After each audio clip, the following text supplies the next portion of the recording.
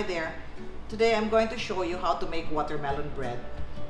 It's called watermelon, but there's really no watermelon in the bread. It just looks like a watermelon when you slice it.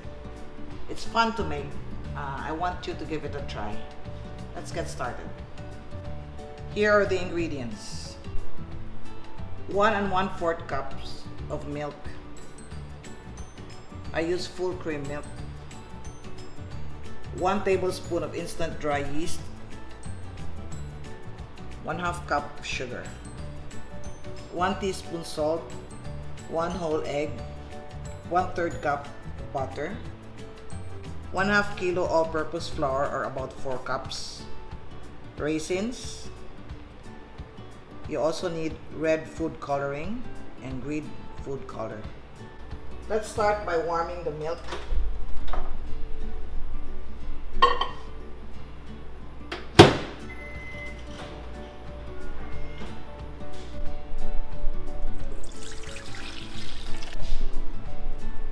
We add sugar to the warm milk. And then you have yeast. And then we need one whole egg.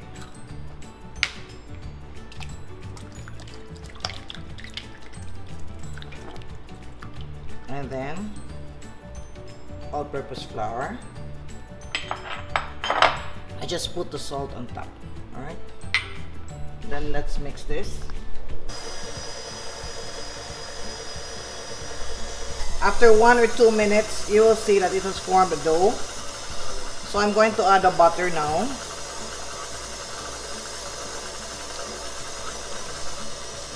And then we will mix this for about 8 minutes at medium speed until we check the gluten window.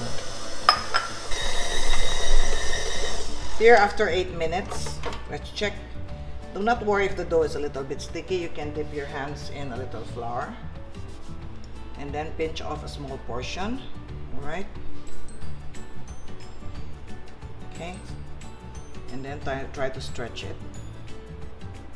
If you can stretch it without this breaking or tearing, see, it means you have achieved the gluten window. It means you have kneaded it enough. All right.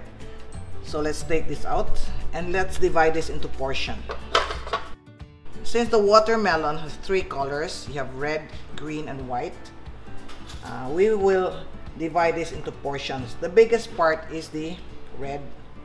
So let's put about uh, I think I will do 650 to 700 grams of the red and then for the green I need about uh, 200 to 220 grams alright? Then the rest which is about 200 grams we're going to use this for white. So it should look like this. Sometimes you can use one is to one same amount for the red uh, for the green and the white. But I like to put more green than the white. So this is red green white so the white we don't need to color the white all right we need to color the red first it has to be like watermelon red so it has to be very red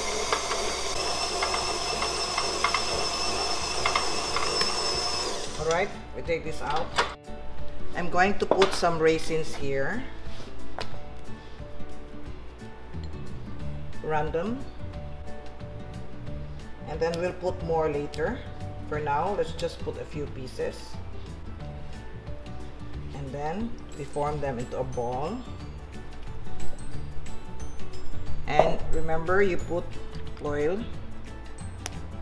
and then upside down, see? and then we let this rise then we color the green if you'll notice I to wash the bowl with the red because when you add a little red to the green it uh, darkens the color a little bit. It adds a little of the black.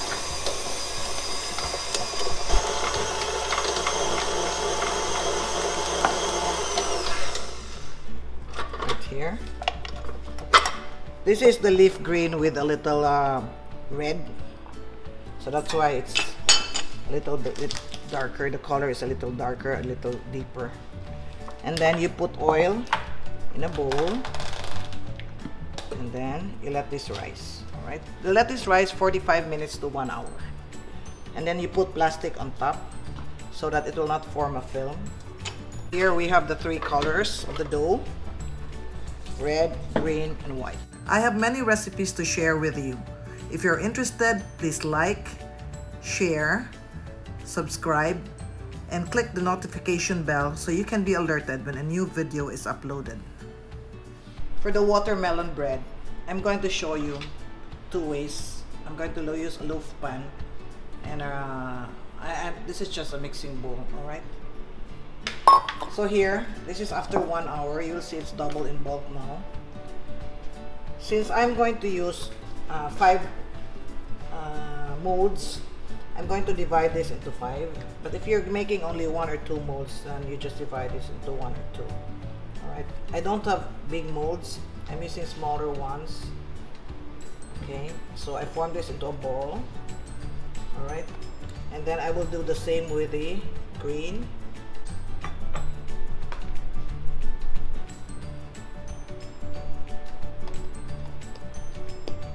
Just to make this clear I'm going to use five molds so I divided it into, five all right? If you're making only uh, using three molds and divide it into three okay? So here we start with the red. I'm going to roll out the red. All way smooth side down alright and then we need to put the seeds Don't use chocolate chips because the chocolate chips will melt. This one will stay. So, as I said, they will look like seeds. Okay. So here, what you do is you roll it into a baston. Okay.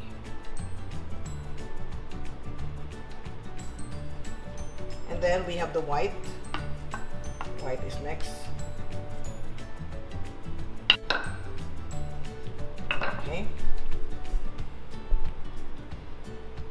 Make sure that the white will enclose the red okay? You only need a thin amount of white. Just press them like this okay? And then green. Remember this will rise, so this will become bigger.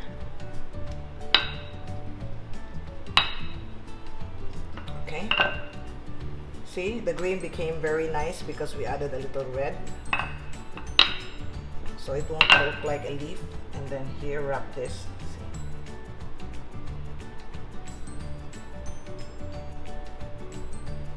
Okay. The ends, you can just pinch them together. This okay so here we put this in one mold like this and then this one if you use this mold I'm just trying to recreate like half of a watermelon. So this one is a lot simpler. What you do is of course as I said we need to put the seeds. And then all you have to do is just form this into a smooth ball. This one is different. We don't roll it into a baston okay? And then this one next. This time we're going to try to make this into a round disc because the ball is round of course. So we put this one.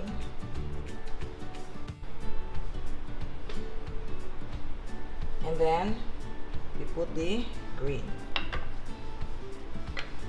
You don't need to egg wash this all right so you just bake this as it is no brush no egg wash.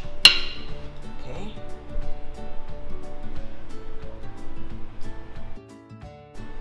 All right this one goes upside down like this okay? Because we're going to invert it like this. So it's like half of a watermelon. Don't forget to grease the pan with shortening okay? And then we will let this rise until it's double in bulk that will take about 45 minutes to one hour okay? And I'll continue with the rest. Here our watermelon bread is ready to go inside the oven. Don't worry about this. Anyway we're going to turn this upside down. So this one will bake about 25 to 30 minutes at 350 degrees. Right? Okay our watermelon bread. You will know if it's cooked you hear a hollow sound. Okay? All right. And let's cool this and let's see if we can uh, it will look like a watermelon. The watermelon bread has cooled down. Now is the uh, most exciting part. We will see if it will look like a watermelon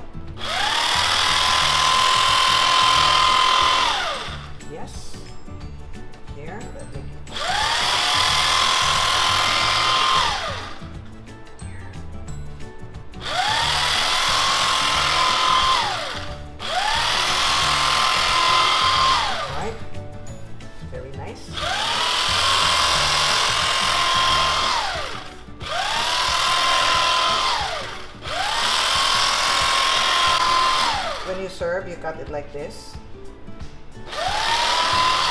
An oblong in, uh, in a triangular shape.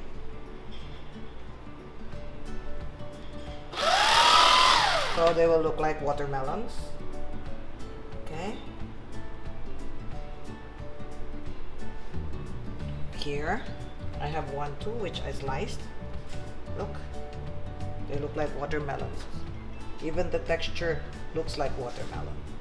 And then, let's try the one with the, this one. Remember the one in the bowl? So this is like half watermelon. See? So you can put it like that, like, uh, you know, it's like when you display, so they will think it's really watermelon. Okay?